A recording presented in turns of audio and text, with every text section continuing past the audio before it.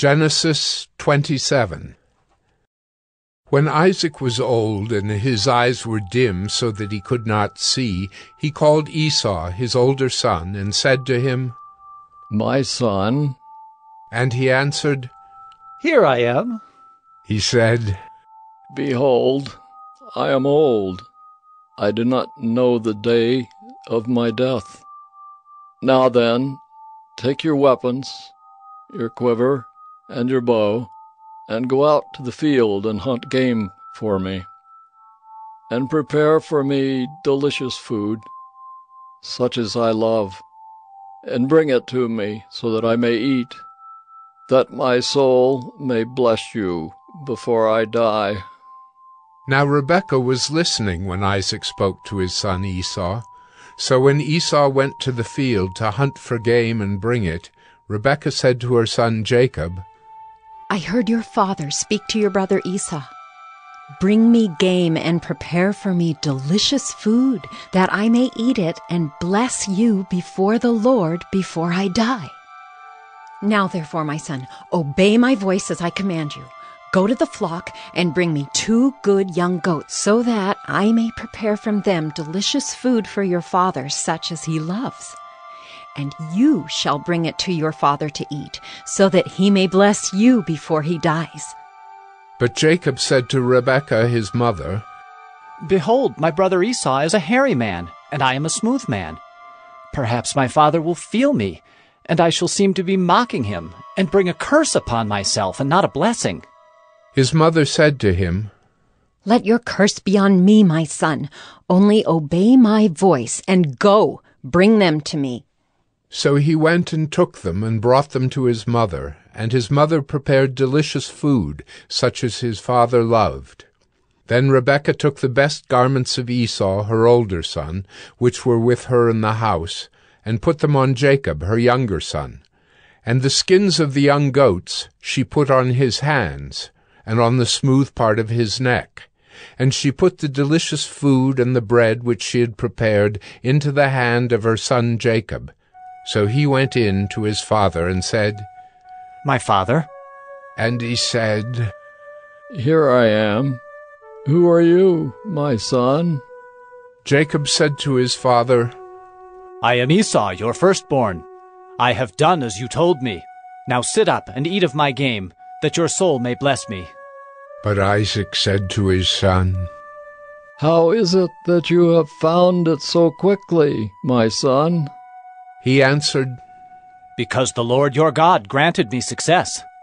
Then Isaac said to Jacob, Please come near, that I may feel you, my son, to know whether you are really my son Esau or not.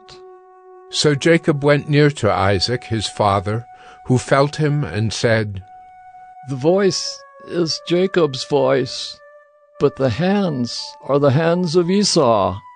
And he did not recognize him, because his hands were hairy like his brother Esau's hands.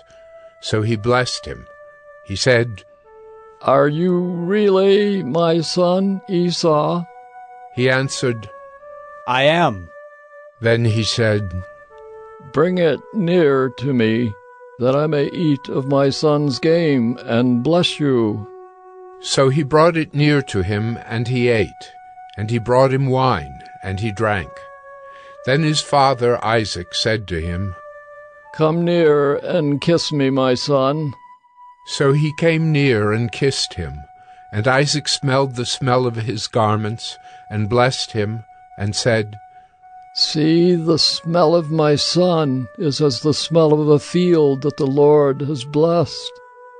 May God give you of the dew of heaven and of the fatness of the earth and plenty of grain and wine. Let peoples serve you and nations bow down to you.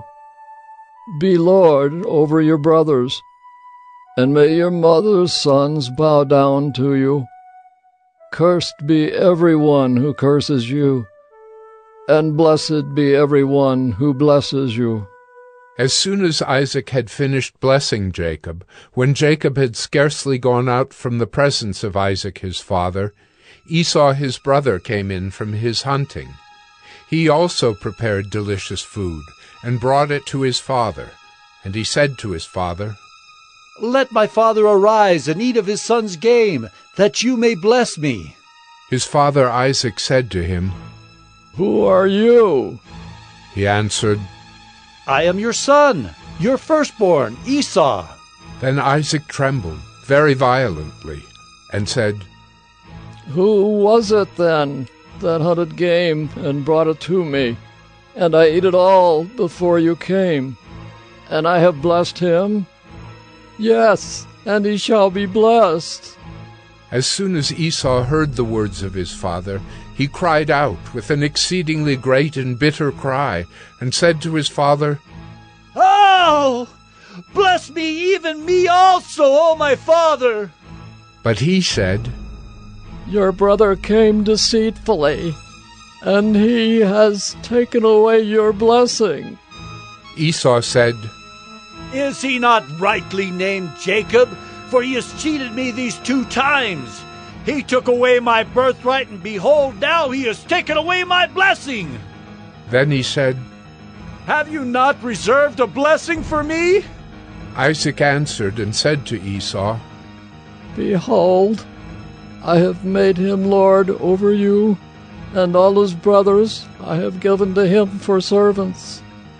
And with grain and wine I have sustained him. What then can I do for you, my son? Esau said to his father, Have you but one blessing, my father? Bless me, even me also, O my father! And Esau lifted up his voice and wept. Then Isaac his father answered and said to him, Behold, away from the fatness of the earth shall your dwelling be, and away from the dew of heaven on high. By your sword you shall live, and you shall serve your brother. But when you grow restless, you shall break his yoke from your neck. Now Esau hated Jacob because of the blessing with which his father had blessed him. And Esau said to himself, The days of mourning for my father are approaching. Then I will kill my brother Jacob.